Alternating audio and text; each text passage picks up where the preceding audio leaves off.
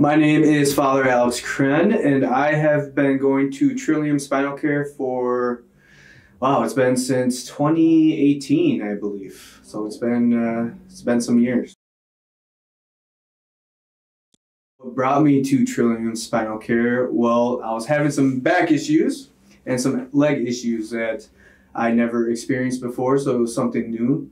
And I've always kind of heard about like people going to see a chiropractor um, but it was something I never experienced myself. Um, I heard a lot of stories, and I'll be honest, I was a little skeptical about it.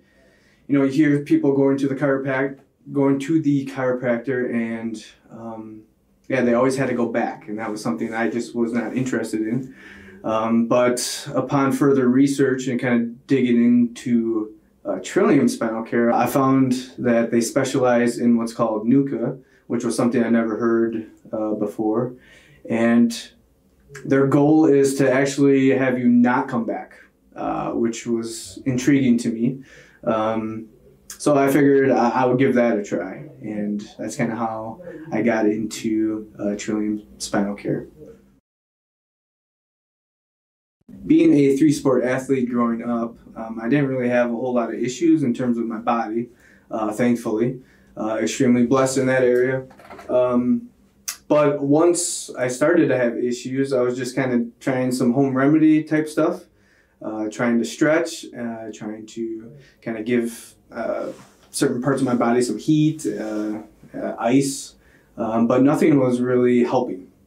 so I knew it was something kind of beyond my control, and I needed to seek some professional help.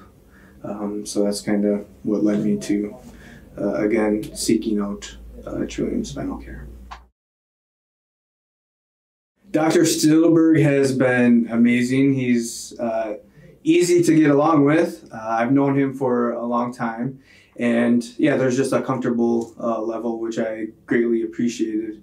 Um, he's straight to the point. He doesn't beat around the bush, which is nice, and he'll tell you how it is. Uh, which I greatly appreciate. You know, he's he's real honest with with the process, uh, and that's something you know.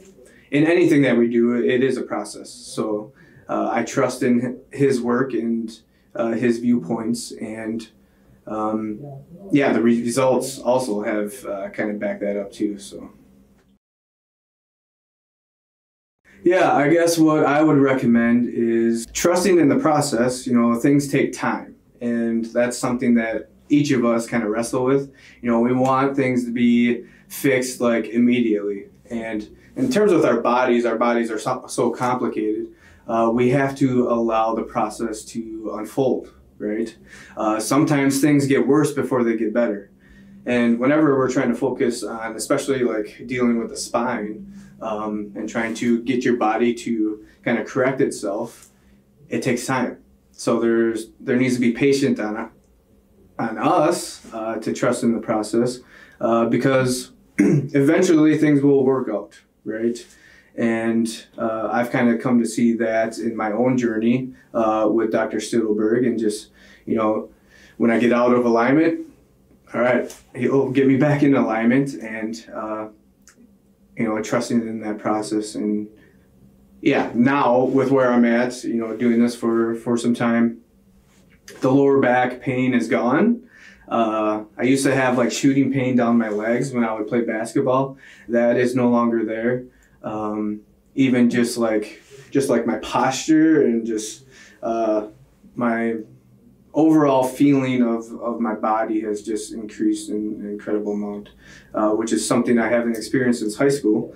Um, so it does work, uh, but we have to put the time in and, and the energy and just trust in the process. So I just encourage you if you are having issues, you know, don't be afraid to kind of go out of your normal realm uh, and experience something, especially uh, with uh, NUCCA, which is kind of unique in itself. Um, but it does work. So I just want to encourage you, uh, if you haven't tried anything like this, don't be afraid to try it.